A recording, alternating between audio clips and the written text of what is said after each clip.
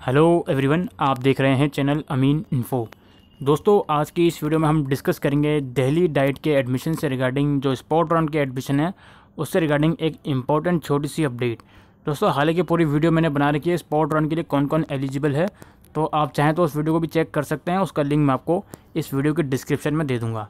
फ़िलहाल दोस्तों, अभी मेरे को आपको सिर्फ़ यही बताना था कि ऐसे लोग जिनको शुरू के पाँच राउंड में कोई भी सीट अलॉट नहीं हुई है, उनको क्या करना होगा? दोस्तों, उनको लॉगिन डैशबोर्ड में जाकर अपना स्लाइडिंग का जो ऑप्शन होता है, वो चूज़ करना होगा।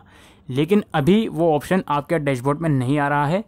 वो ऑप्शन जो है दोस्तों वेबसाइट पर एक इम्पोर्टेंट अपडेट आएगी उस चीज़ से रिगार्डिंग उसी के बाद वो ऑप्शन आपका ओपन होगा।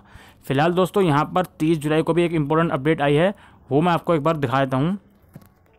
उसमें उन्होंने ये बताया है कि जिनको सीट अलॉट हो चुकी है, उनको रिपोर्ट करना है उनतीस जुलाई से इकतीस जुलाई के बीच में, अपने रिपोर्टेड इंस्टीट्यूट में। और ये भी उन्होंने बताया है कि जो एडमिशन विड्रॉल करना चाहते हैं तो वो लॉगिन आईडी कर कर विड्रॉल पर क्लिक करके अपना विड्रॉल एडमिशन लेटर निकाल सकते हैं। ठीक है, फिर उसको आप सबमिट करेंगे अपने पेरेंट्स से साइन करवा के।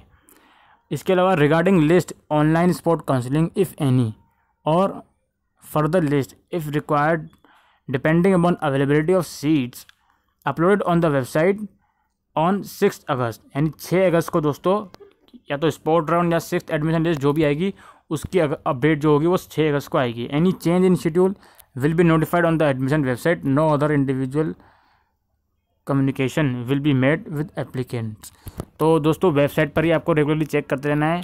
कोई आपको एसएमएस के थ्रू कुछ नहीं बताएँगे ये लोग, ना तो मेल के थ्रू बताएँगे। आपको वेबसाइट पर ही चेक करते रहना है स्पोर्ट राउंड की काउंसलिंग से रिगार्डिंग ठीक है? तो यहाँ पर आपको वेट करता रहना है। लॉग इन डैशबोर्ड में चेक करना है कि जब स्लाइडिंग ऑप्शन आएगा तो आपको स्लाइडिंग ऑप्शन चूज़ करना है। उसी के बाद आप स्पोर्ट काउंसिलिंग के लिए एलिजिबल होंगे। दोस्तों, ऐसे भी लोग थे जिनको सीट अलॉट हो गई थी, उन्होंने फ्रीज नहीं करी थी।